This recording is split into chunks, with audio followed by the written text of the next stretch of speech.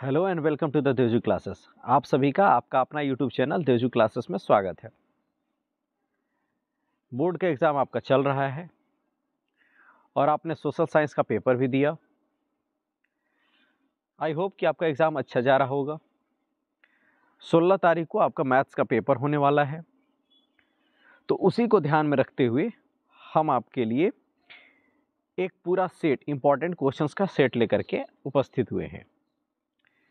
अगर आप इस चैनल पर नए हैं तो आप इस चैनल को ज़रूर सब्सक्राइब कर दें और बेल आइकन को प्रेस कर लें। आंसर की भी आपका इस पे उपलब्ध मिलेगा और साथ ही साथ आने वाले जो एग्ज़ाम्स हैं, उनके भी इंपॉर्टेंट क्वेश्चंस यहाँ से प्रोवाइड किए जाएँगे। ठीक है? हमारा जो चैनल है, वो आप दोनों मीडियम के बच्चों के लिए बहुत ही लाभदायक है। वो चाहे हिंदी मीडियम के हों, चाहे इंग्लिश मीडियम से हो। तो चलिए हम लोग शुरू करते हैं आज के वीडियो को।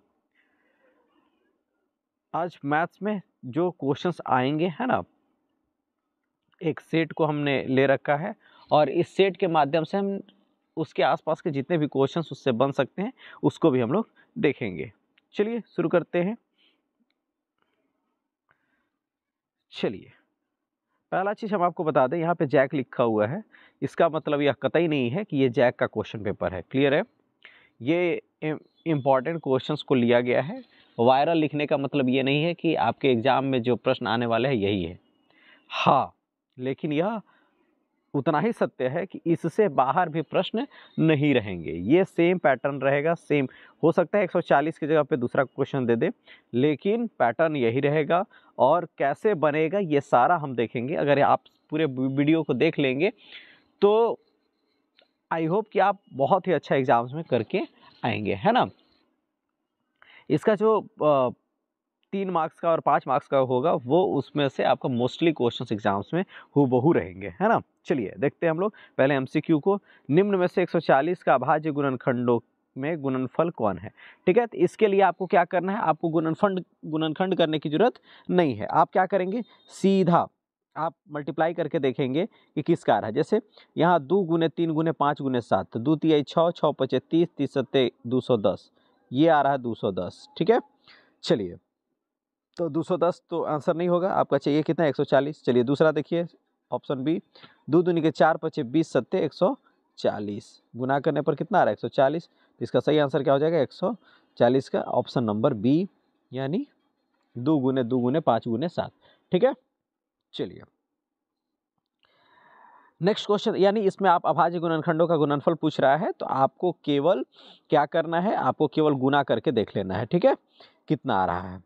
चलिए नेक्स्ट क्वेश्चन देखिए, सत्रह बटे आठ का दशमलव प्रसार कैसा है? इसमें आपको क्या क्या सोचना है?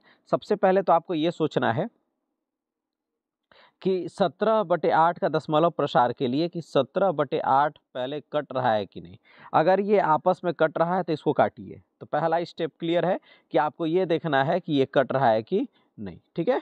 अब जब नहीं कट रहा है, आई बात समझ में? जब ये नहीं कट रहा, सत्रह व आठ एक दूसरे से कटेगा नहीं? तो इसका मतलब है कि आप काटने वाला बात ख़त्म। अब आपको काटने की ज़रूरत नहीं है। तो उसके बाद आप दूसरा स्टेप देखेंगे। दूसरा स्टेप क्या देखेंगे? आप अब यहाँ से दूसरा स्टेप के लिए आप दो काम कर सकते हैं। क्या क्या काम कर सकते हैं? पहला आप काम काम कर सकते हैं, आठ को देखिए कि आठ किस से विभाजित हो रहा है। ठीक है? पहला काम क्या देखिएगा कि आठ जो है, वो किस से विभाजित हो रहा है। ठीक है? चलिए तो आठ देखिए किससे विभाजित हो रहा है।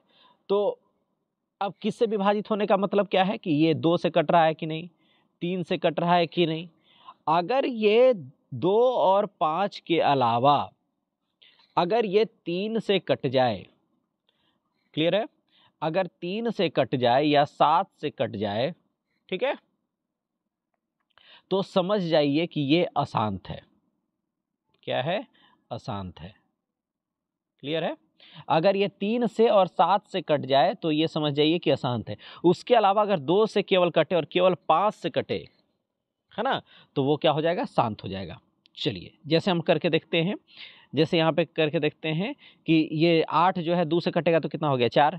फिर चार किससे कटेगा? दो से। फिर दो किससे कटेगा? दो से ही कट जाएगा। एक। पूरा पूरा कट गया, दो से ही केवल। यानी दो के अलावा, यानी तीन और सात से ये आठ नहीं कट रहा है। अगर तीन और सात से कटता तो ये अशांत हो जाता और तीन और सात से नहीं कट रहा है तो इसका मतलब है ये शांत है। ठीक है? यानी दो से ये पूरा पूरा कट जा रहा है। क्लियर है? चलिए। और हम लोग देख लेते हैं थोड़ा। जैसे मान लीजिए इक्कीस बटे सात या इक्कीस बटे पंद्रह, इक्कीस बटे पंद्रह। क्लियर है? अब देखिए, इक्कीस बटे पंद्रह करना तो आपको पहला हमने क्या कहा कि पहले देखिए कि काटिए इसको, कट रहा है कि नहीं? तो तीन सतह इक्कीस, तीन पचे पंद्रह। कट गया? अब सात बटे पाँच तो नहीं कटेगा, सबसे लोवेस्ट यही मिलेगा आपको। अब नीचे वाला देखिए पाँच ये नीचे क्या है? पाँच। अगर ये तीन और सात से कटता तो अशांत है। इसके अलावा अगर दो से और पाँच से केवल कट रहा है तो ये क्या है? शांत है। तो पाँच किस से कटेगा? केवल पाँच से कटेगा एक बार में। इसका मतलब क्या है? ये शांत है। क्लियर है? अब देखिए, दूसरा क्वेश्चन और देख लीजिए। जैसे मान लीजिए चौबीस बटा इक्कीस, चौबीस बट्टा इक्कीस। अब ये देखिए कि पहले कट रहा है कि नहीं? कट रहा है तो काट लीजिए, तीन अठी चौबीस, तीन सत्तर इक्कीस। तो कितना आया? आठ बटे सात। अब नीचे देखिए, ये सात है। क्या है? सात है। ठीक है? अब ये सात जो है, वो आपका किससे कट रहा है? दो से कट रहा है? नहीं। पाँच से कट रहा है? नहीं। किससे कट रहा है? केवल सात से कटेगा। तो हमने क्या कहा? तीन और सात से कटेगा तो वो क्या होगा? अशांत होगा। तो ये क्या हो जाएगा? अशांत हो जाएगा। क्लियर है? क्या हो जाएगा? अशांत हो जाएगा। आई होप कि आप आराम से चेक कर लेंगे। अगर इससे भी नहीं समझ में आ रहा है तो आप क्या करेंगे? भागा दे के देख लेंगे। जैसे क्या है, सत्रह बटे आठ तो आठ से भागा दीजिए सत्रह में। आठ दूनी सोलह, एक हुआ। दसमलव बैठेगा, आठ एकम आठ, दो हुआ। फिर ज़ीरो।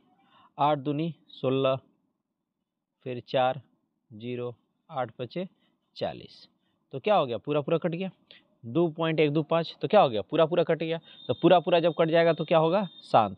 और जब पूरा पूरा नहीं कटेगा तो क्या होगा? अशांत। क्लियर है? अब आप आई होप कि अब आपको कोई डाउट नहीं होगा। चलिए नेक्स्ट क्वेश्चन देखिए। क्वेश्चन नंबर तीन देखिए। पी वाई बराबर पी एक्स का ग्राफ दिया गया है।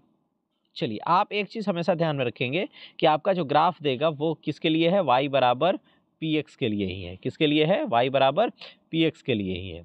तो आपको ये नहीं सोचना है कि एक्स बराबर पी ऑफ़ वाई तो नहीं दिया हुआ है। अगर पी ऑफ़ वाई देखा देगा तो आपको देखना है कि वाई अक्ष को कितना बार काटा है। अगर वाई बराबर पी एक्स दिया हुआ है तो इसको देख इसका आप, आपको क्या देखना है कि एक्स अक्ष को ये जो एक्स अक्ष है इस एक्स अक्ष को ये कितना बार काटा है। अगर एक्स बराबर पी वाई दे लिया दिया इसका मतलब है कि ये वाई अक्ष को कितना बार काटा है। ये वाई अक्ष है। इसको कितना बार काटा है क्लियर है? लेकिन आपके एग्ज़ाम में क्या आएगा? वाई बराबर पी एक्स तो ये सोचना ही नहीं है, ठीक है? चलिए। अगर वो नहीं आए, तब की बात हमने कहा, ठीक है?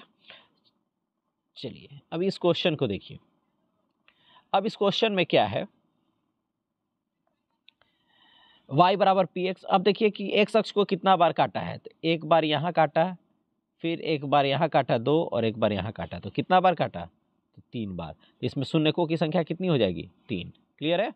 अगर ये ये एक शख्स है, अगर हमने, हम पूछेंगे कि ये, इसका बताइए कि इसमें शून्यकों की संख्या क्या होगी? इसका कमेंट सेक्शन में आप आंसर करके बताइए, ठीक है? इसका शून्यकों की संख्या क्या होगी? क्लियर है? तो इस, अच्छे, एक इसका बताइए, है ना? और दूसरा, इसका बताइए। इसके शून्यकों की संख्या क्या होगी? तो इसका हम केवल बता दे रहे हैं, इसका क्या हो जाएगा? ज़ीरो। क्यों? क्योंकि ये एक्स अक्ष को एक भी बार नहीं काटा है। इसका आप कमेंट सेक्शन में आंसर बताइए, ठीक है? चलिए। नेक्स्ट क्वेश्चन देखिए। क्वेश्चन नंबर चार। क्वेश्चन नंबर चार। चलिए, थोड़ा बड़ा कर देते हैं।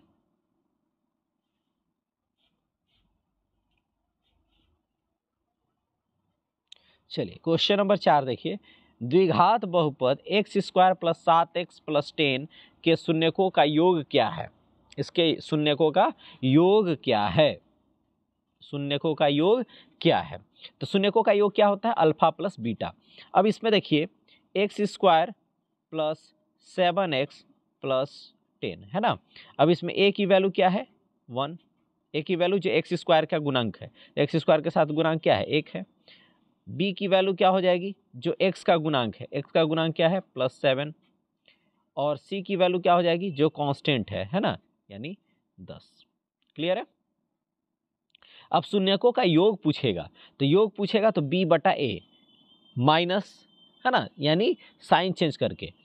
तो अल्फ़ा प्लस बीटा जो होता है, वो होता है शून्यकों का योग जो होता है, माइनस बी बट्टा ए होता है। तो यानी बी का वैल्यू क्या हो जाएगा? सात। तो माइनस सात बट्टा ए का वैल्यू क्या है? वन। तो यानी माइनस सात बट्टा एक आप यही ध्यान में रखिए कि एक्स का जो गुणांक है बटा जो एक्स स्क्वायर का गुणांक है, और चिन्ह बदल दीजिए। योग पूछेगा तब। अगर गुणनफल पूछता, क्या पूछता? गुणनफल, यानी अल्फ़ा गुने बीटा, यानी गुणनफल पूछता। तो क्या हो जाता? सी बटा ए सी मतलब जो कांस्टेंट है, यानी दस, उसका बिना साइन चेंज किए तो दस बटा, यहाँ एक्स स्क्वायर का गुणांक कितना है? एक, दस बटा एक, यानी कितना हो जाएगा? दस। क्लियर है? तो अगर योग पूछेगा तो इस तरह से, और गुणनफल पूछेगा तो इस तरह से, ठीक है? अगर हम सीधा पूछे कि बताइए two x square minus three x minus five बराबर ज़ीरो। इसमें शून्यकों का योग कितना होगा? तो एक्स का गुणांक कितना है? माइनस तीन तो उसका चिन्ह बदल दीजिए तो क्या हो जाएगा? प्लस तीन। और एक्स स्क्वायर का गुणांक कितना है? दो तो ये आ जाएगा नीचे। तो योग कितना हो जाएगा? तीन बटा दो। अब इसका गुणनफल पूछेगा। तो गुणनफल पूछेगा तो एक्स जो कांस्टेंट है वो कितना है? माइनस पाँच। बिना साइन चेंज किए तो माइनस पाँच हो गया। और एक्स स्क्वायर का गुणांक कितना है? दो। तो यहाँ क्या हो जाएगा? दो हो जाएगा। तो माइनस पाँच बटा दो। क्लियर है? चलिए नेक्स्ट देखिए क्वेश्चन नंबर पाँच देखिए। समीकरण निकाय a one x b one y plus c one बराबर zero a two x plus b two y plus c two बराबर ज़ीरो का अद्वितीय हल होगा। चलिए, अद्वितीय हल होगा। हम लोग तीनों रिवाइज कर लेते हैं क्या क्या देख ले, यहाँ देख लीजिए। पहले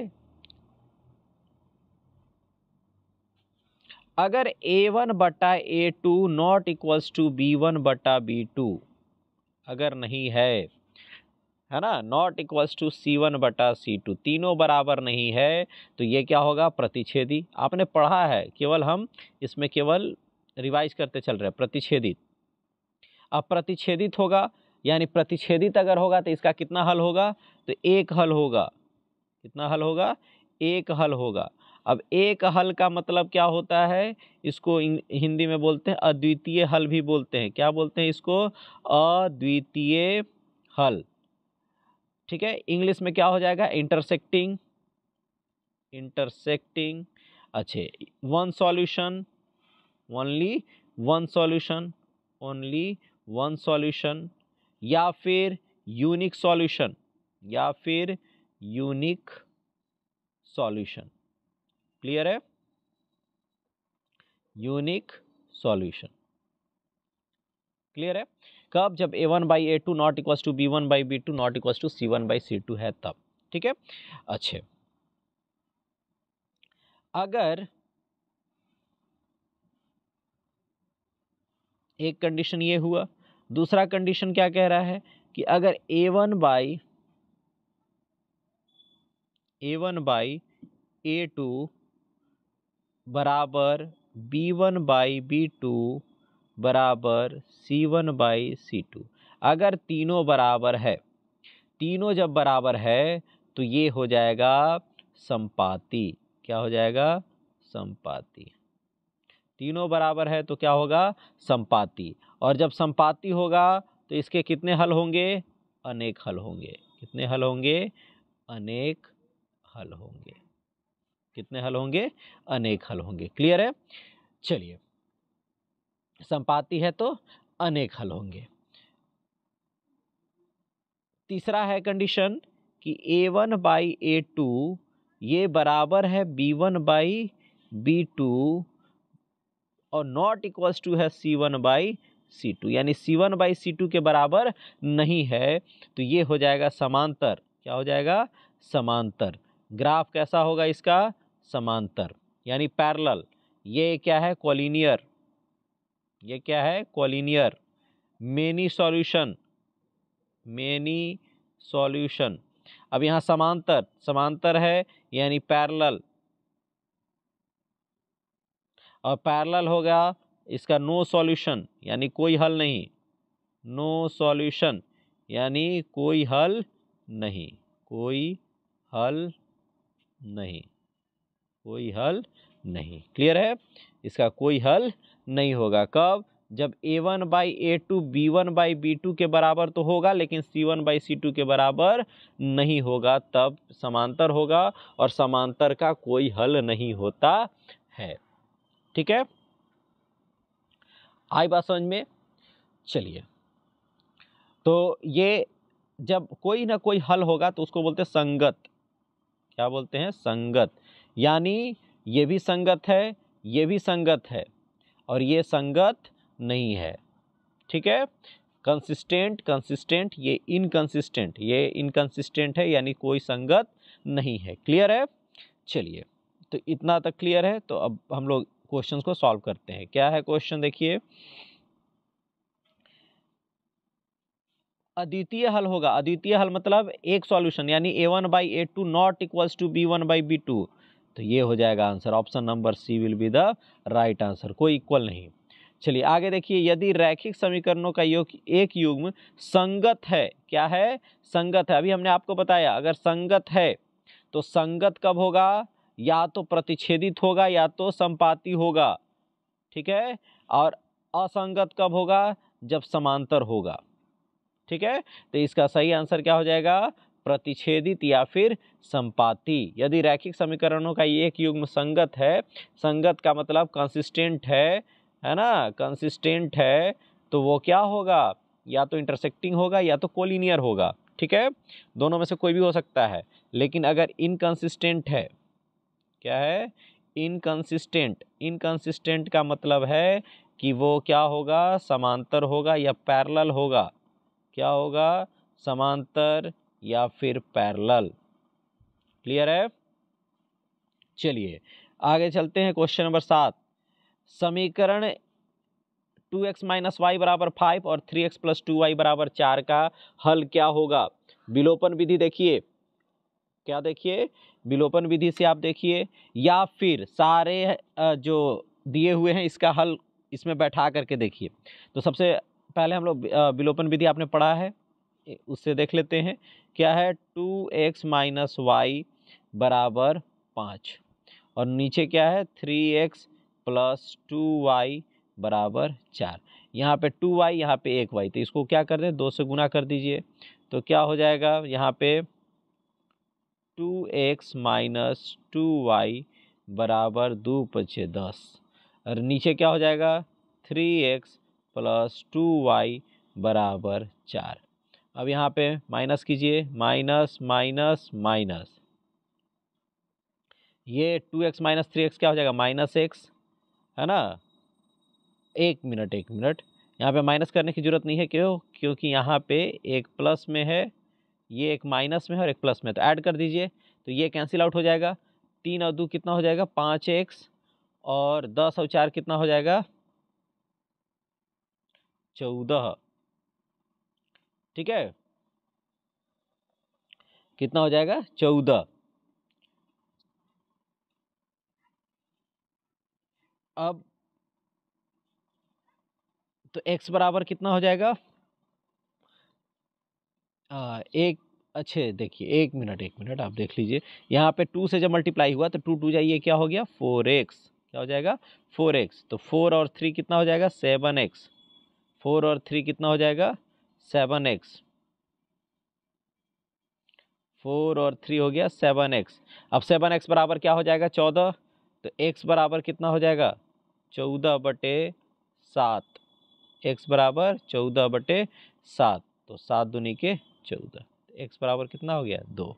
एक्स बराबर दो। अब एक्स बराबर दो कहाँ है? एक्स बराबर दो यहाँ पे भी है, एक्स बराबर दो यहाँ पे भी है। ठीक है? चलिए। तो अब x बराबर दो का मान क्या करेंगे? किसी भी एक में पुट करके देख लेते हैं। जैसे मान लीजिए पहले वाले में पुट करते हैं तो क्या हो जाएगा? दो एक्स के जगह पर यहाँ तो दो दूनी के, दो दूनी के चार माइनस वाई बराबर फाइव यानी माइनस वाई बराबर क्या हो जाएगा? पाँच माइनस चार, यानी माइनस वाई बराबर हो गया एक, यानी वाई बराबर हो गया माइनस एक. ये वाला साइन उधर चला जाएगा। वाई बराबर कितना हो जाएगा? माइनस एक। तो एक्स का मान दो और वाई का मान माइनस एक, ठीक है? तो या तो आप विलोपन विधि से बनाइएगा, या तो आप सीधे पुट करके देखिएगा, ठीक है? सीधे कैसे पुट करके देखना है? पहला क्या है equation? Two x minus y बराबर फाइव। क्या है? Two x minus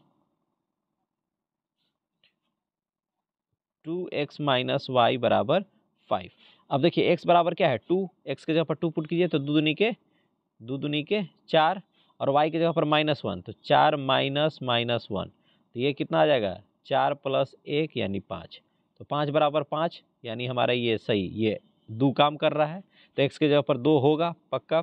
अब चलिए, अब वाई अब अब इस इक्वेशन में देखिए three x plus two y three x plus two y बराबर फोर यानी ये x बराबर टू और y बराबर माइनस वन ये तो इसमें, इस इक्वेशन में काम किया। अब इसी, इस इक्वेशन में पुट करके देखते हैं।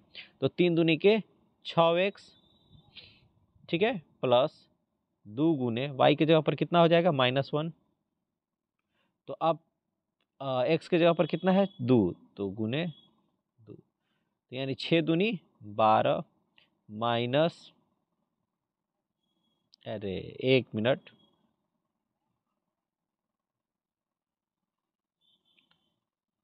अब यहाँ पे क्या है? जैसे यहाँ पे थ्री एक्स है ना? तो थ्री एक्स है तो एक्स के जगह पर क्या पुट करें? दो।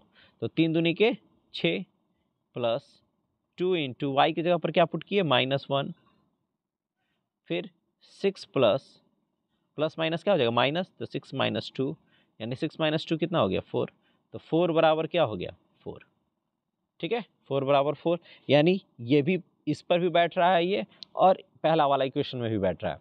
तो जब दोनों पे बैठ रहा है तो एक्स का वैल्यू क्या हो जाएगा? दो और वाई का वैल्यू माइनस वन ठीक है?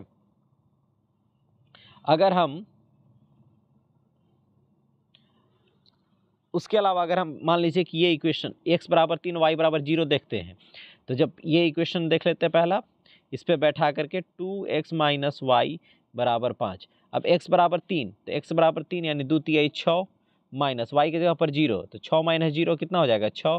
पाँच आया, नहीं आया तो इसका मतलब है कि ये इक्वेशन अरे ये आंसर नहीं होगा, ठीक है? तो इसी तरह से हम क्या करेंगे? बैठा करके देख लेंगे कि कौन सा बैठ रहा है, कौन सा उस पर बैठ रहा है। अदरवाइज़ आपके पास विलोपन विधि है है ना? आपके पास तीन और विधियाँ हैं, है ना? वज्रगुणन विधि है, विलोपन विधि है, प्रतिस्थापन विधि है तो जिस विधि से आपको बनाना है, आप उससे बना करके एक्स और वाई का मान निकाल सकते हैं, ठीक है? या फिर आप सीधे पुट कर सकते हैं इसमें, ठीक है? चलिए नेक्स्ट क्वेश्चन देखिए। समीकरण निकाय two x plus y minus six बराबर ज़ीरो और two x minus k y minus दो बराबर ज़ीरो का अद्वितीय हल होने के लिए के का मान क्या है? ठीक है? तो अद्वितीय हल कब होगा? अद्वितीय हल का मतलब होता है ए वन बट्टा a two not equals to b one बट्टा बी टू कोई भी मान पूछे, आपको ऐसे ही करना है, ठीक है?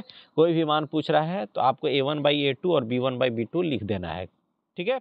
अब अद्वितीय हल पूछ रहा है तो नॉट इक्वल्स टू लगा देना है, और अगर मान लो उसके अलावा अगर समांतर का कोई हल नहीं पूछता, कोई हल नहीं, या अनेक हल। ठीक है? अनेक हल। ये दोनों में से अगर कोई भी पूछता तो क्या हो जाता है? ए वन बटा ए टू बराबर बी वन बटा बी टू क्लियर है? तब ये हो जाता ठीक है? अब इसमें देखिए ए वन बटा ए टू बराबर बी वन बटा बी टू ए वन क्या हो जाएगा यहाँ पे? दो। तो दो बटा यहाँ पे क्या है? दो। तो दो। इस इक्वेशन में भी क्या है? दो है। नॉट इक्वल्स टू अब बी वन बी वन के यानी वाई का गुणांक तो वाई का गुणांक यहाँ पे क्या है? वन है। और यहाँ पे वाई का गुणांक क्या है? माइनस के है। तो माइनस के क्लियर है?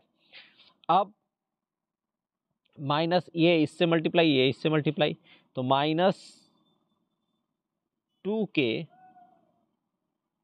is equals to क्या हो जाएगा? टू ठीक है?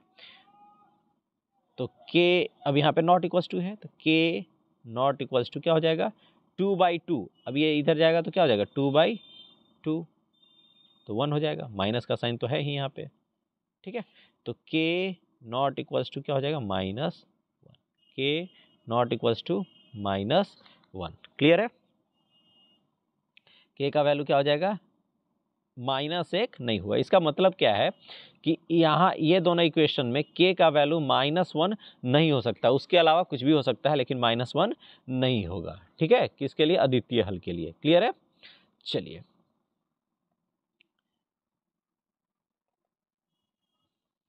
क्वेश्चन नंबर नौ देखिए। निम्न में से कौन द्विघात समीकरण है? कौन इसमें द्विघात समीकरण है? तो या तो आप सॉल्व करके देखिए। नहीं तो दूसरा क्या है? आप सबसे आसान एक, ये क्या है? ऑप्शनल है तो आप एम सी क्यू है मल्टीपल चॉइस क्वेश्चन है।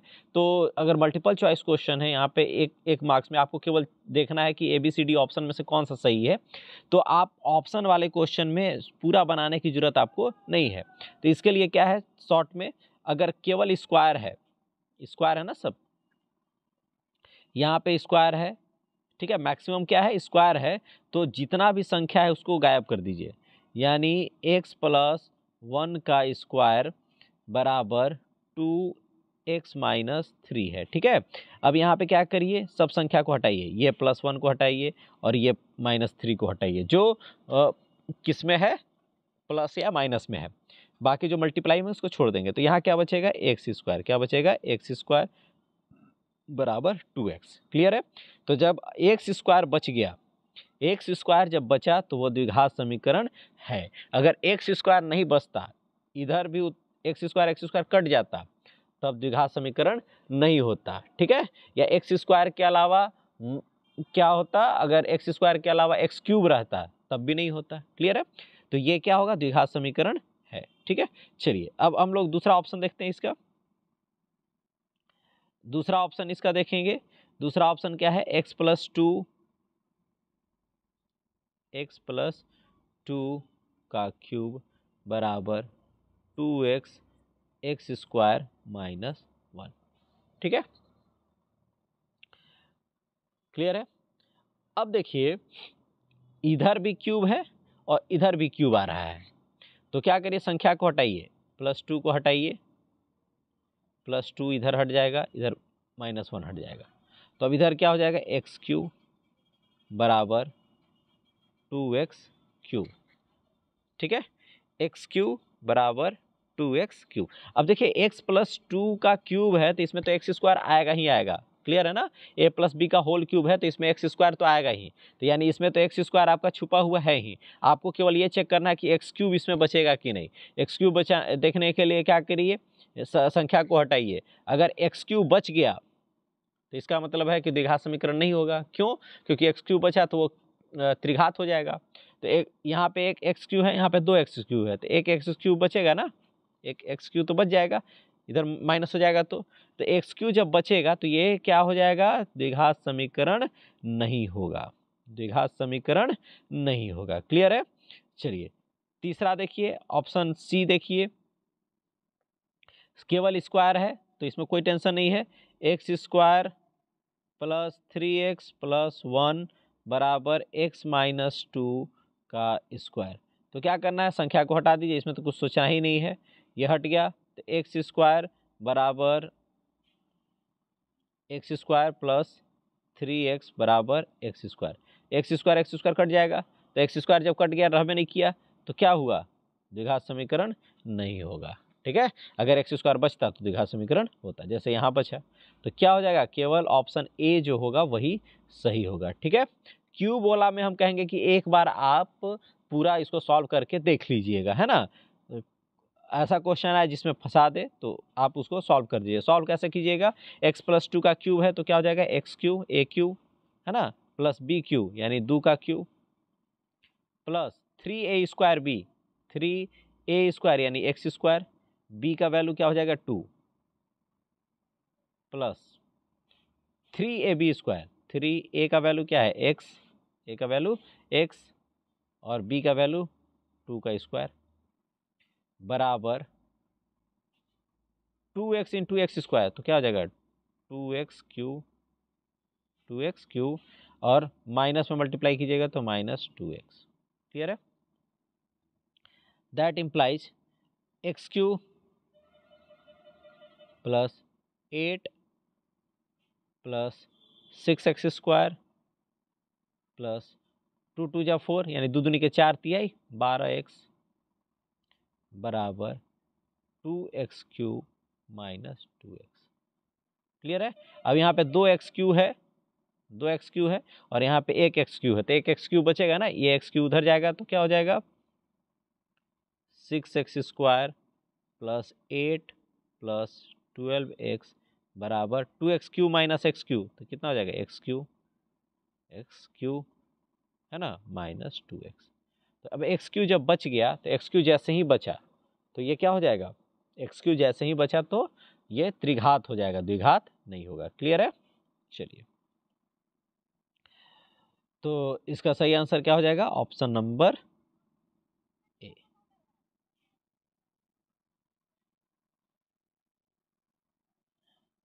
इसका इसका सही आंसर क्या हो जाएगा? ऑप्शन नंबर ए क्लियर है? चलिए। नेक्स्ट क्वेश्चन देखिए। द्विघात समीकरण two x square minus five x plus three बराबर ज़ीरो के मूलों की प्रकृति क्या होगी? तो मूल की प्रकृति के लिए क्या देखना है? पहले विविक्त कर निकालना है। अगर कंडीशन देखिए, अगर d का मान ज़ीरो से बड़ा ज़ीरो से बड़ा इन द सेंस कि प्लस में आए संख्या एक, दो, तीन या कुछ भी जो प्लस में आए। ठीक है? रूट में रहे, चाहे किसमें, किसी में रहे, लेकिन प्लस में रहे। तो प्लस में रहेगा तो वास्तविक क्या होगा? वास्तविक होगा, वास्तविक एवं असमान। मूल क्या होगा? अस्तित्व में होगा, असमान। असमान यानी भिन्न। भिन्न भी लिखा हुआ रहेगा, तब भी सेम कब? जब डी का मान ज़ीरो से बड़ा है, तब। अगर d बराबर ज़ीरो होगा तो वास्तविक होगा। वास्तविक होगा एवं बराबर होगा। वास्तविक एवं बराबर। ठीक है? अगर d का मान लेस देन ज़ीरो होगा तो क्या हो जाएगा? काल्पनिक। क्या हो जाएगा? काल्पनिक। ठीक है? ये एक चीज़ क्लियर है। अब चलिए दूसरा चीज़ देखिए। दूसरा चीज़ ये देखना है कि अब डी निकलेगा कैसे।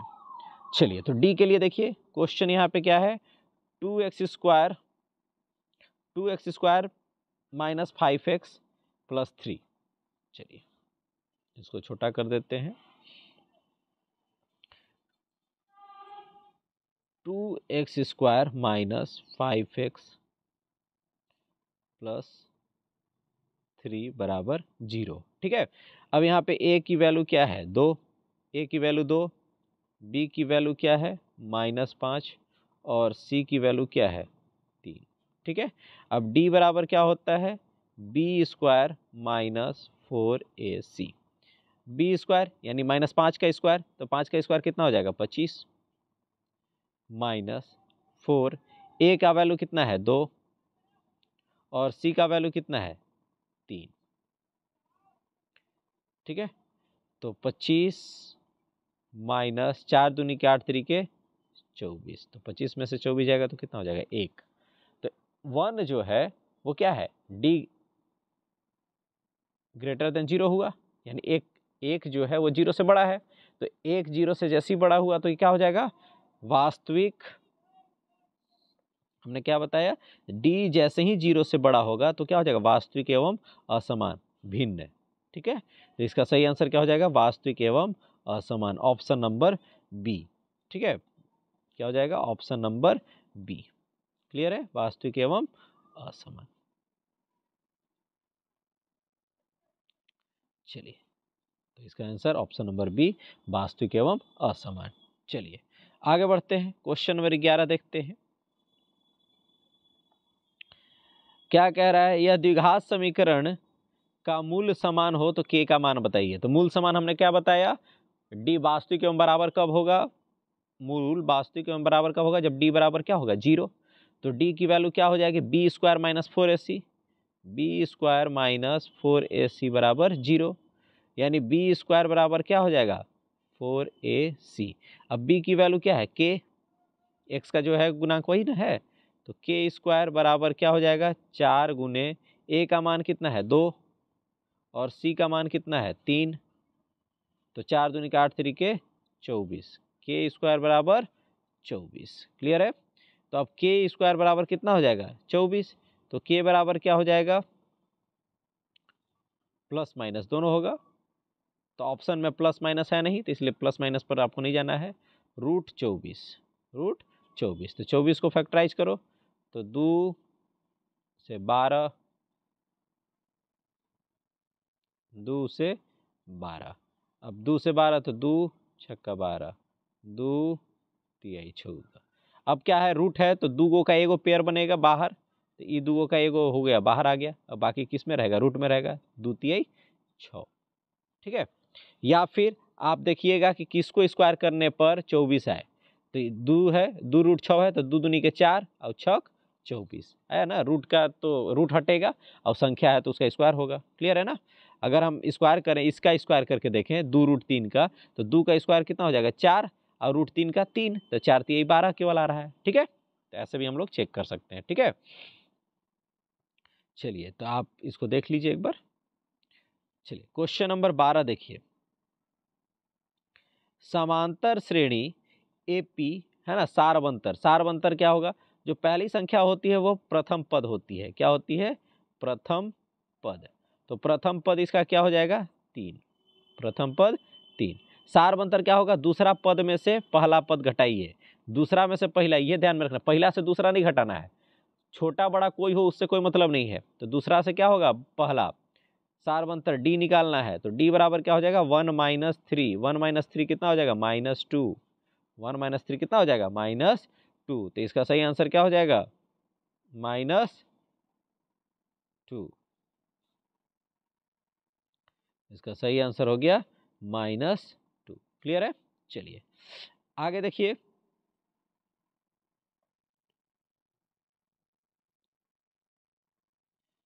नेक्स्ट क्वेश्चन देखिए। ए पी माइनस तीन, माइनस एक बटे दो दो का ग्यारहवा पद। कितना कितना पद कह रहा है? ग्यारहवा पद। तो ग्यारहवा पद जैसे ही कहे तो आपको निकालना क्या है? ग्यारहवा पद जैसे ही कहे चलिए नेक्स्ट क्वेश्चन हम देख रहे हैं। जैसे ही ग्यारहवा पद कहे क्लियर है? तो ग्यारहवा पद जैसी कहे तो आपको निकालना है ए प्लस दस डी ए प्लस दस डी ठीक है? जितना ग्यारह अगर है तो दस डी पच्चीस का है तो चौबीस डी एक कम। क्यों? A plus n minus one into d formula होता है। चलिए तो आपको ग्यारहवा पद निकालना है तो ए प्लस दस डी अब ए का मान कितना है इसमें? माइनस तीन। तो ए की जगह पर क्या हो जाएगा? माइनस तीन, प्लस दस गुने दस गुने डी की वैल्यू कितनी होगी? डी का वैल्यू क्या हो जाएगा? माइनस एक बटे दो, माइनस एक बटे दो, माइनस माइनस तीन। यानी दूसरका में से पहल का घटाएँगे तो माइनस एक बटा दो प्लस क्या हो जाएगा? तीन। तीन दूनी के छः छः माइनस एक जाएगा तो कितना हो जाएगा? पाँच। कितना हो जाएगा? पाँच बटा दो। तो यहाँ पाँच बट्टा दो। तो दो पचे दस। तो माइनस तीन प्लस पच्चीस। अब पच्चीस में से तीन जाएगा तो कितना हो जाएगा? बाईस। कितना हो जाएगा? बाईस। क्लियर है? इसका सही आंसर क्या हो जाएगा? Option number B, twenty two, यानी बाईस। क्लियर है ना? अगर अगर इसका बीसवां पद पूछता, बीसवां पद पूछता अगर ये तो बीसवां पद पूछता तो क्या हो जाता है? ए प्लस उन्नीस डी। ए प्लस उन्नीस डी। क्लियर है? चलिए। क्वेश्चन नंबर चौदह। चौदह क्या कह रहा है? सभी वृत्त क्या होते हैं? तो सभी वृत्त क्या होते हैं? आप याद रखिएगा सर्वांशम आपको पढ़ना नहीं है तो सीधा याद रखिए समरूप। सभी वृत्त समरूप, सभी वर्ग समरूप, सभी समबाहु त्रिभुज समरूप। ये तीन चीज़ पूछा जाएगा। वृत्त पूछा जाएगा तो समरूप, है ना? वर्ग पूछा जाएगा तो समरूप, है ना? अगर समबाहु त्रिभुज पूछा जाएगा तो क्या होगा? समरूप। चलिए, आगे देखिए। आकृति D E parallel to B C है। डी ई क्या है? पैरल है किसके? बी सी के, ठीक है? तो इसी का मान क्या होगा? यानी थेल्स प्रमेय है ये। तो आपको ज़्यादा ध्यान नहीं लगाना है। बस यही ध्यान में रखिए कि यहाँ पे दिख रहा होगा क्वेश्चन। यहाँ पे क्या है? डेढ़ है। डेढ़ का कितना गुना तीन है? तो डेढ़ का दुगुना तीन है तो एक का दुगुना कितना हो जाएगा? दो। ठीक है? दो आपका आंसर हो जाएगा। क्लियर है ना? बस यही आपको देखना है। कितना गुना है? ठीक है? तो डेढ़ का ये क्या है? डेढ़ का दुगना है आपका तीन तो डेढ़ का ये दुगना हो गया तीन तो एक का दुगना कितना हो जाएगा? दो। क्लियर है? तो एक का दुगना दो। आंसर हो जाएगा। चलिए, एक क्वेश्चन यहाँ से रहेगा ही आपका।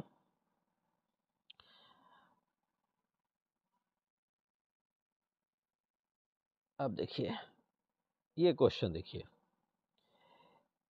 क्वेश्चन नंबर सोलह, फ्री का ये क्वेश्चन है, फ्री का नंबर आपको मिलेगा। त्रिभुज एबीसी ए बी बराबर 24 सेंटीमीटर, ए सी बराबर 25 सेंटीमीटर और बी सी बराबर 7 सेंटीमीटर एंगल बी का मान पूछ रहा है। यहाँ पे आपको केवल दो ही चीज़ देखना है, पैंतालीस और 120 तो आंसर होगा ही नहीं। आंसर केवल होगा या तो 60 डिग्री या तो 90 डिग्री। अगर सभी भुजा बराबर है तो 60 डिग्री अगर सभी भुजा बराबर नहीं है तो यानी वो पैथागोरस पे होगा और उसका आंसर 90 डिग्री होगा। बात समझ में आ गई? आपका जो एग्ज़ाम में पूछा जाएगा, केवल यही दो पैटर्न पे पूछा जाएगा। या तो सब भुजा का मान बराबर रहेगा, यानी चौबीस रहता ये भी चौबीस रहता ये भी चौबीस रहता तो संबाहु त्रिभुज हो जाता, उसका साठ डिग्री हो जाता। अगर ये नहीं है तो समझ जाइए कि वो पैथागोरस पे है और उसका आंसर नब्बे डिग्री होगा। आगे आपको कोई देखने की ज़रूरत नहीं है। आप इसको चेक कर सकते हैं। पच्चीस का स्क्वायर जो होगा, कितना हो जाएगा? छः सौ पच्चीस। और इसका स्क्वायर और इसका स्क्वायर करके आप जोड़ लीजिए। चौबीस का स्क्वायर पाँच सौ छिहत्तर और प्लस सात उनचास। जोड़िएगा तो छः सौ पच्चीस आएगा, है ना? वो आएगा ही आएगा, चाहे उसके जगह पर कुछ भी संख्या रहे। अगर ये बराबर नहीं है तो आप समझ जाइए कि इसका आंसर नब्बे डिग्री है। और अगर तीनों बराबर है तो आंसर साठ डिग्री है। क्लियर है? चलिए, नेक्स्ट देखिए।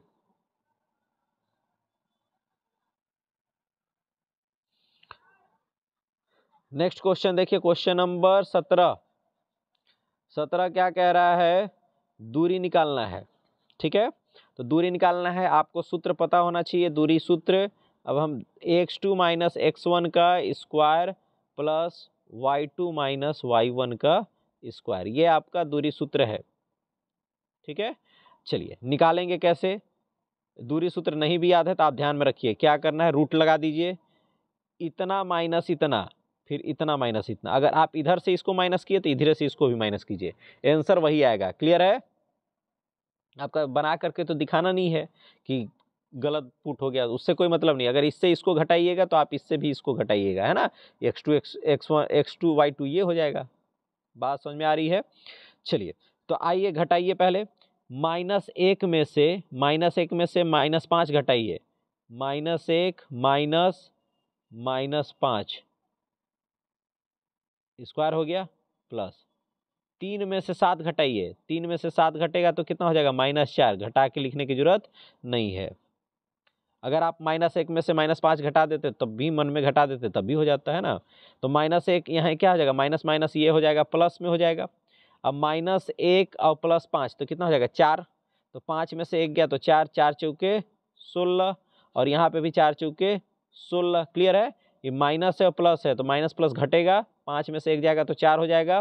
ठीक है? तो चार का स्क्वायर सोलह, यहाँ पे भी माइनस चार का स्क्वायर सोलह। तो सोलह सोलह कितना हो जाएगा? रूट बत्तीस। कितना हो जाएगा? बत्तीस। अब देखिए, किसका स्क्वायर करने पर बत्तीस आ रहा है? दो दूनी के चार। दो दूनी के चार गुने दो, चार दूनी के आठ हो जाएगा। इसका आंसर आठ होना चाहिए। इसका देखिए रूट दो का केवल दो हो जाएगा स्क्वायर करने पर। चार रूट दो देखिए, चार का स्क्वायर करिएगा तो चार चौके सोलह सोलह दूनी बत्तीस। तो आ गया ना बत्तीस। तो इसका सही आंसर क्या हो जाएगा? ऑप्शन नंबर सी ठीक है? इसका स्क्वायर करिएगा तो कितना हो जाएगा? तीन तरीके नौ दूनी अट्ठारह है ना? तो बत्तीस आपको चाहिए था तो बत्तीस किसका आ गया? स्क्वायर करके देख लीजिए। क्लियर है? चलिए, नेक्स्ट क्वेश्चन देखिए। Next question. बिंदु दो, चार और छः आठ को मिलाने वाले रेखाखंड का मध्य बिंदु का निर्देशांक बताइए। मध्य बिंदु मतलब बीचों बीच तो दोनों को जोड़िए। एक से एक्स वाला को जोड़िए और आधा कीजिए। तो दो और छः कितना हो गया? आठ। आठ का आधा कितना हो गया? चार। तो या तो ये होगा या तो ये होगा। ये तो होगा नहीं। फिर चलिए वाई वाला जोड़िए। चार और आठ। चार आठ जोड़िएगा तो कितना होगा? बारह। बारह का दिया कितना हो गया? छः तो इसका सही आंसर क्या हो जाएगा? ऑप्शन नंबर सी क्लियर है? चलिए, आगे देखिए। क्वेश्चन नंबर उन्नीस।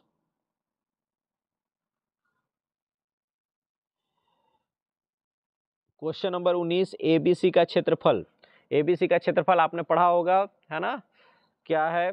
निर्देशांक वाला जो फॉर्मूला है, आपको पता है, एक बटा दो x one, y two minus y three plus x two, फिर y three minus y one और plus x three, y one minus y two. अब इसको आप क्या करिए, बैठा दीजिए इस पर इस पर आप बैठा दीजिए इसको, है ना? और जो आंसर आएगा, ये क्या हो जाएगा? एक्स वन ये वाई वन ये एक्स टू ये वाई टू ये एक्स थ्री और ये वाई थ्री क्लियर है? आप बैठा करके इसका क्या कर सकते हैं? आंसर ला सकते हैं, ठीक है? ये कैसे बैठेगा? ये हम जब लॉग आंसर वाला देखेंगे तो उसमें भी देखेंगे। इसको बनाने के लिए एक शॉर्ट ट्रिक बता रहे हैं, उस ट्रिक को देखिए। क्या है शॉर्ट ट्रिक फिर हम इस पर भी बैठा देंगे आपको, है ना? चलिए, ये शॉर्ट ट्रिक थोड़ा देख लीजिए, आसान हो जाएगा एग्ज़ाम के लिए।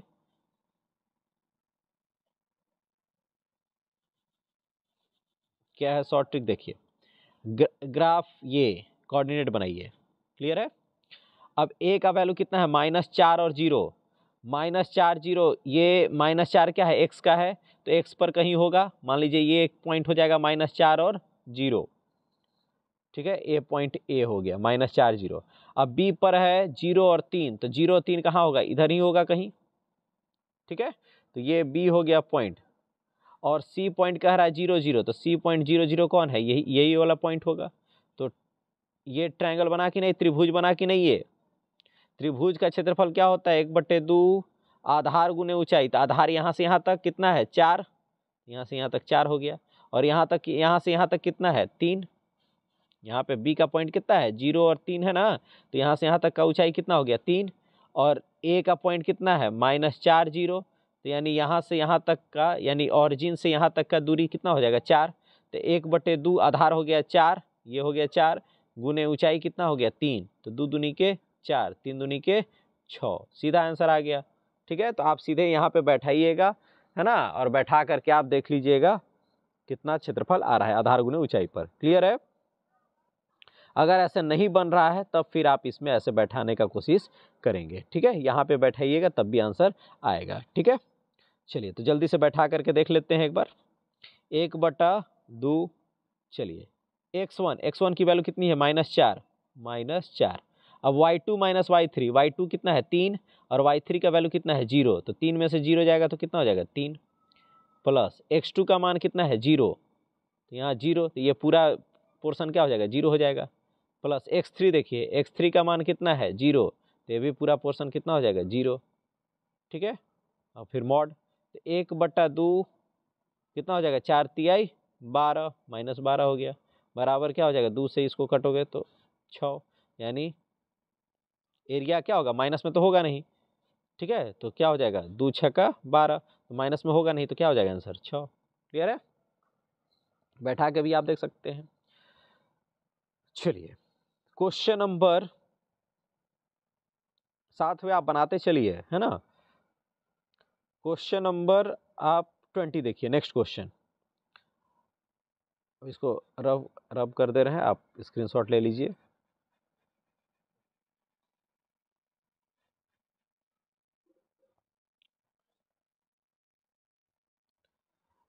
टेन ए बराबर फोर बाई थ्री तो साइन ए का वैल्यू निकालने के लिए कह रहा है, ठीक है? टेन ए बराबर कितना है? चार बटा तीन।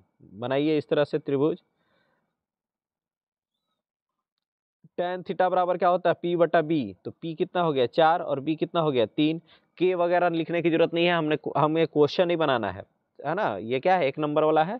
तो सीधा, ये चार है, ये तीन है तो ये चार चुके सोलह, तीन तरीके नौ। नौ सोलह कितना हो जाएगा? पच्चीस। पच्चीस का रूट कितना हो जाएगा? पाँच। तो ये ये कितना हो गया? पाँच आ गया।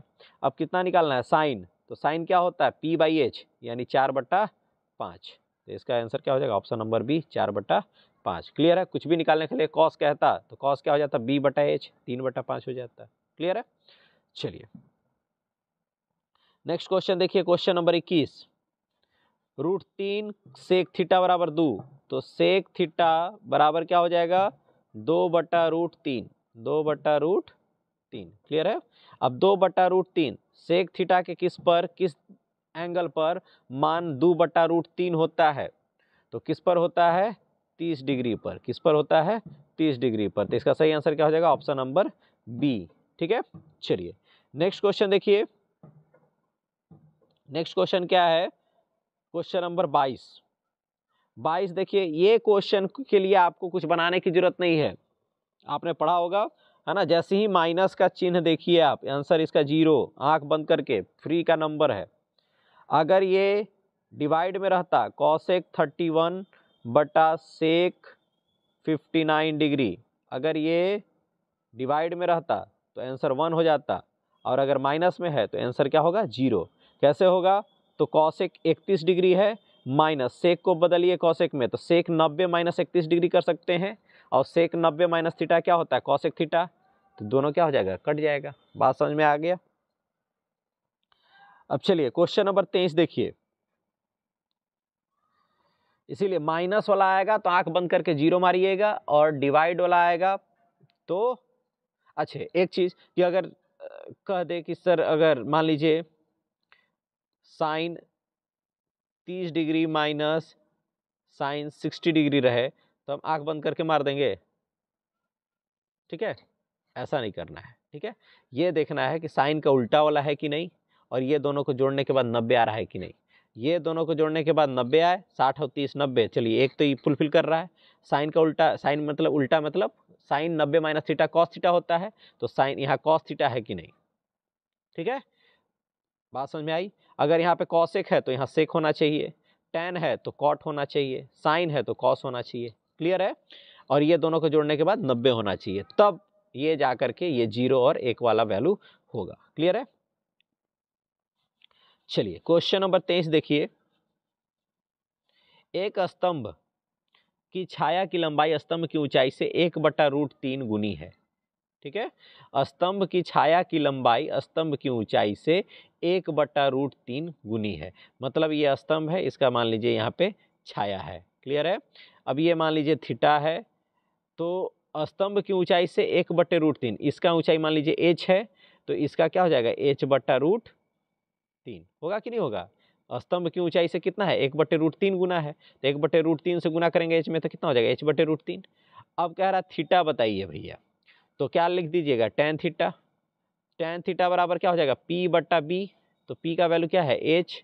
एच बट्टा एच बट्टा रूट तीन। अब एच एच कटेगा, ये रूट तीन कहाँ चला जाएगा? ऊपर। तो रूट तीन। यानी टेन थीटा बराबर कितना हो जाएगा? रूट तीन। अब थीटा टेन थीटा का किसका वैल्यू जो होता है? रूट तीन होता है तो साठ डिग्री का, ठीक है? इसका सही आंसर क्या हो जाएगा? Option number C sixty degree. Clear है? चलिए क्वेश्चन नंबर चौबीस देखिए। एक वृत्त की कितनी समांतर स्पर्श रेखाएँ हो सकती हैं? तो एक वृत्त की कितनी समांतर स्पर्श रेखाएँ हो सकती हैं? एक चीज़ ध्यान रखिए कि समांतर स्पर्श रेखाएँ जो होंगी, एक एक रेखा का एक ही और समांतर होगा, है ना? तो कितना समांतर रेखा हो सकता है? दो। अगर यहाँ पे है तो इसका इधर हो सकता है तो दो ही होगा, ठीक है? अच्छे। कितने स्पर्श रेखा हो सकते हैं एक वृत्त पर? तो अनेकों स्पर्श रेखाएँ हो सकती हैं, क्लियर है? चलिए। तो इसका क्या हो जाएगा? कितनी समांतर स्पर्श रेखा है? तो ऑप्शन नंबर बी हो जाएगा, यानी दो, ठीक है? चलिए, नेक्स्ट क्वेश्चन देखिए। पाँच सेंटीमीटर, पाँच सेंटीमीटर त्रिज्या वाले एक वृत्त के बिंदु P पर स्पर्श रेखा पी क्यू केंद्र O से जाने वाले एक रेखा से बिंदु Q पर इस प्रकार मिलती है कि ओ क्यू बराबर बारह और पी क्यू की लंबाई ज्ञात कीजिए। क्वेश्चन को आप पढ़िए ध्यान से। पाँच सेंटीमीटर त्रिज्या है, पाँच सेंटीमीटर त्रिज्या है और एक वृत्त के बिंदु P पर स्पर्श रेखा पी क्यू पी पर बिंदु इस पर P है, इस पर स्पर्श रेखा यह स्पर्श रेखा क्या हो जाएगा? क्यू ओ से जाने वाली एक रेखा बिंदु क्यू पर इस प्रकार मिलती है। केंद्र ओ है तो यहाँ से यहाँ तक, यहाँ से यहाँ तक क्या आ जाएगा मान लो? ओ ठीक है? यहाँ से यहाँ तक ओ हो गया, ठीक है? अब केंद्र से जो स्पर्श बिंदु पर एंगल बनता है, वो कितना बनता है? नब्बे डिग्री? तो ये नब्बे हो गया, ये कौन है? तो ये ये क्या हो जाएगा? आधार। और ये क्या हो जाएगा? कर्ण, ठीक है? अब ये क्या है? ओ अब कह रहा है ओ क्यू की लंबाई बारह। ये बारह दिया हुआ है, त्रिज्या पाँच दिया हुआ है। आपको पी क्यू की लंबाई ज्ञात करनी है। तो पी क्यू क्या है? आधार। तो पाइथागोरस प्रमेय से क्या हो जाएगा? बारह का स्क्वायर माइनस पाँच का स्क्वायर। तो बारह का स्क्वायर कितना हो जाएगा? वन सिक्सटी नाइन और पाँच का स्क्वायर कितना हो जाएगा? पच्चीस। और इसका रूट। तो एक सौ उनहत्तर माइनस पच्चीस कितना हो जाएगा? एक सौ एक मिनट एक मिनट। बारह का स्क्वायर कितना हो जाएगा? एक सौ चौवालीस। बारह का स्क्वायर कितना हो जाएगा? एक सौ चौवालीस माइनस पचास, पच्चीस। ठीक है? तो एक सौ चौवालीस में से पच्चीस जाएगा तो कितना हो जाएगा? एक सौ उन्नीस। तो इसका आंसर क्या हो जाएगा? अंडर रूट एक सौ उन्नीस। ठीक है? अगर ओ क्यू की लंबाई कहती तो इसका स्क्वायर प्लस इसका स्क्वायर कर देते रूट में। ठीक है? चलिए तो इसका सही answer option number D. Next question देखिए, क्वेश्चन नंबर छब्बीस देखिए। एक मिनट। आर त्रिज्या वाले अर्धवृत्त का क्षेत्रफल। अर्धवृत्त का क्षेत्रफल। अर्धवृत्त का क्षेत्रफल। तो अर्धवृत्त का क्षेत्रफल क्या हो जाएगा? एक बट्टा दो पाई आर स्क्वायर। तो पाई आर स्क्वायर बट्टा दो। तो क्या हो जाएगा इसका आंसर? Option number B. अगर इसका परिमाप पूछता, अर्धवृत्त का परिमाप तो यहाँ से यहाँ तक का क्या हो जाता? Two R. और यहाँ से यहाँ तक कितना हो जाता? Pi R. यहाँ से यहाँ तक आधा। यानी टू पाई आर का आधा क्या हो जाएगा? Pi R. और प्लस टू आर। अगर परिमाप पूछता तो pi R plus two R हो जाता। आर को कॉमन ले लोगे तो क्या हो जाएगा? Pi plus two. क्लियर है? चलिए। नेक्स्ट क्वेश्चन देखिए। त्रिज्या आर वाले वृत्त के उस त्रिज्यखंड का क्षेत्रफल निकालिए जिसका कोण पी डिग्री है। तो पी डिग्री अगर है कोण तो क्या हो जाएगा? पी बट्टा तीन सौ साठ गुने पाई आर स्क्वायर। त्रिजखंड का क्षेत्रफल कह रहा है। टू पाई आर है तो नहीं होगा, टू पाई आर है तो नहीं होगा, ये दोनों में से कोई नहीं होगा। अब पाई आर स्क्वायर वाला ये है और ये है, ठीक है? अब यहाँ पे कह रहा है तीन सौ साठ, तीन सौ साठ यहाँ कहीं नहीं है तो ये एक सौ अस्सी क्या है? तीन सौ साठ का आधा है। तो तीन सौ साठ का जब आधा होगा, ठीक है? तो इसका भी आधा होगा, ठीक है? तो ये ऐसा नहीं है, पाई आर स्क्वायर कुछ वैसे ही है। अगर यहाँ पे तीन सौ साठ का डबल किए तो यहाँ पे भी ऊपर में भी क्या करना होगा? दो से करना होगा। तो टू पाई आर स्क्वायर बटा सात सौ बीस तो टू पाई आर स्क्वायर बटा सात सौ बीस। इसका सही आंसर ऑप्शन नंबर डी। ठीक है? क्या हमने कहा कि अगर p बटा तीन सौ साठ गुने पाई आर स्क्वायर, इसका एक्चुअल क्या हो जाएगा? p बटा तीन सौ साठ गुने पाई आर स्क्वायर। लेकिन p ये कहीं नहीं है ऑप्शन में। तो पाई आर स्क्वायर वाला ये ऑप्शन और ये ऑप्शन तो कट जाएगा क्योंकि ये टू पाई आर है। ठीक है? तो पाई आर स्क्वायर वाला ये है और ये है। अब देखिए यहाँ 360 का क्या है? दुगना है। तो 360 का डबल जब किए नीचे में तो ऊपर में भी क्या करना होगा? दुगना करना होगा। तो टू पाई आर स्क्वायर बटे सात सौ बीस जो होगा वही आंसर सही हो जाएगा। क्लियर है? चलिए। नेक्स्ट क्वेश्चन देखिए क्वेश्चन नंबर अट्ठाईस। क्वेश्चन नंबर अट्ठाईस। क्या कह रहा है? एक घनाभ का माप इतना है घनाभ का विकर्ण विकर्ण निकालिए। या फिर रूम रहेगा रूम के अंदर कोई भी सबसे लंबी लकड़ी ल, या सबसे लंबी सीढ़ी लगाने के के लिए सीढ़ी की लंबाई क्या होगी? या तो ये क्वेश्चन पूछा जाएगा, या तो घनाभ आपका सीधे विकर्ण पूछा जाएगा। अगर कुछ भी ये दोनों में से पूछा जाता है तो आप क्या करेंगे? हमेशा हम विकर्ण निकालेंगे। विकर्ण क्या करना है? सबका स्क्वायर करके जोड़ देना है। छः का स्क्वायर कितना हो जाएगा? छत्तीस प्लस आठ का स्क्वायर आठ अठाई चौंसठ प्लस चौबीस का स्क्वायर पाँच सौ छिहत्तर। ठीक है? फिर पाँच अब इसको जोड़िए तो कितना हो जाएगा? छः, चार, दस और छः। सोलह। फिर सात, छः, तेरह और तीन, सोलह, एक, सत्रह। ठीक है, पाँच और एक, छ।